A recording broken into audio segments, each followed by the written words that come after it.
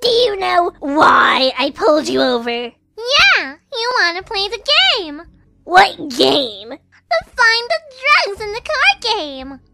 Meulin, we actually have drugs in the car this time. Oh, shit.